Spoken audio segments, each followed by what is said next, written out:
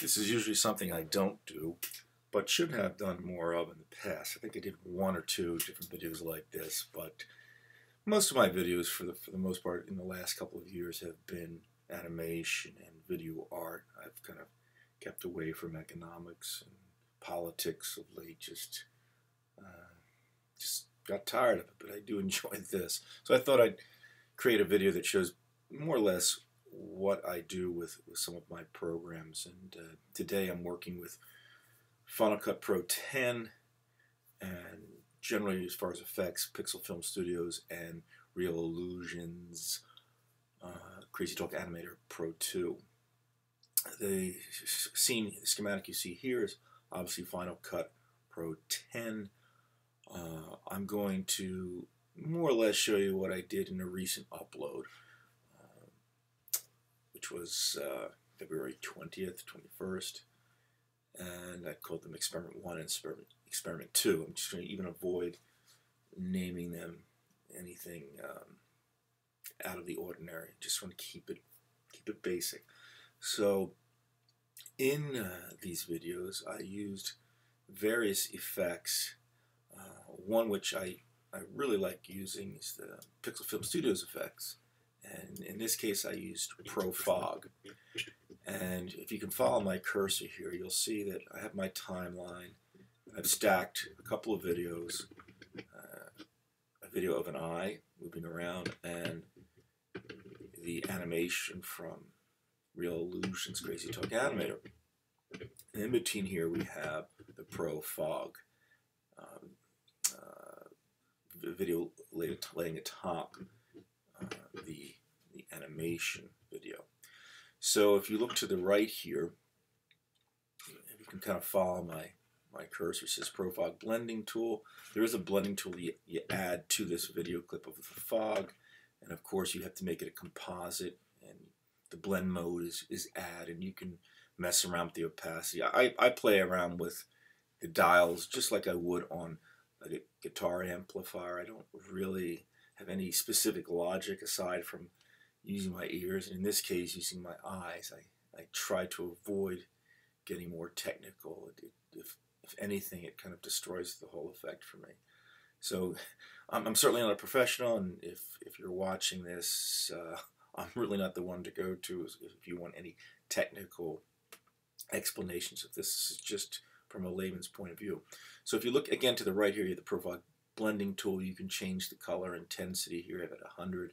I could, you know, obviously put it to zero and you see what happens. It's kind of kind of cool. Uh, you can change the color. You know, it's kind of nice.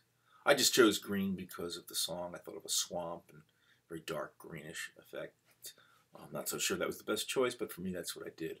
Here you have shadows, and I can, you know, again, you just kind of just moving this around here, mid-range. Uh, I didn't disturb those too much. Highlights blurs, and um, the scale of the of the fog itself, which I kept some around here. Yeah, and that's that's that's very useful. So that's Pro Fog. I don't use fog all that much. Uh, if, if you look down here at my effects browser, you have a ton of effects here from Pixel Film Studios. You have Pro 8 millimeter, which I don't think they, they offer anymore for some reason. I don't know what happened, if there were some issues with it or with some other effects distributors, but they don't offer that, and I think that's probably my favorite of them all. They really are uh, really are sharp.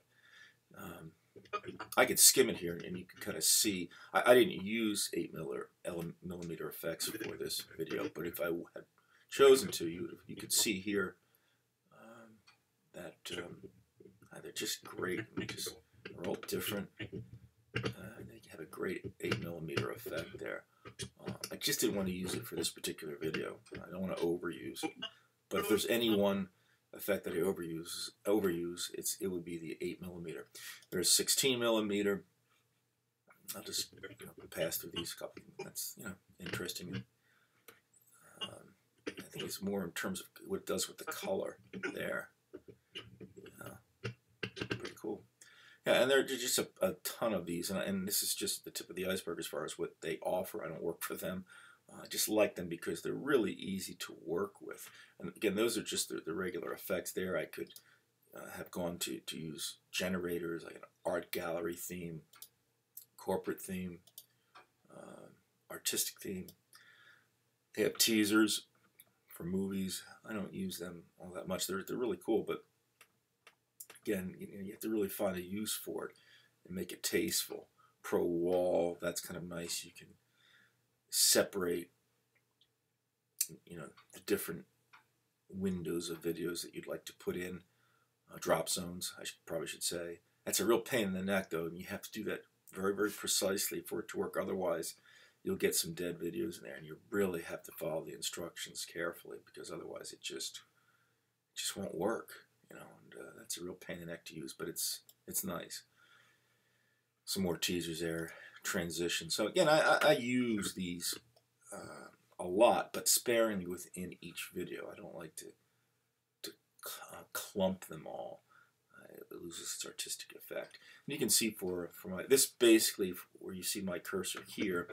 Uh, this is where the video zone that I was using for the uploaded video. I was actually working on a another project I do through Facebook. Uh, you know, through here, but I separated because some of the things I do on Facebook, obviously, I'm not going to do on YouTube. I might make some videos go to friends, and it's just not the way to do it. And there's some videos that obviously on YouTube that you know I just could not post on Facebook. Um, you know my philosophical views. I have a lot of friends who just uh, you know they're just not into hearing that kind of stuff. It's not that they would disagree or agree with me, and many would, but uh, it's just no use to put them, putting them on Facebook. But um, yeah, I plan to do a few more of these uh, as far as showing how I use the effects, especially as I get better at it. Um, if I get better at it, uh, because I think a lot of people, you know, find that kind of thing more interesting than, than seeing the video, especially if you're into video creation. Again, I'm I'm only a novice, even though I've been doing it for for years. I still like just playing around with all the different settings until I find something that uh, is very useful. All right, so that's that. See you next time.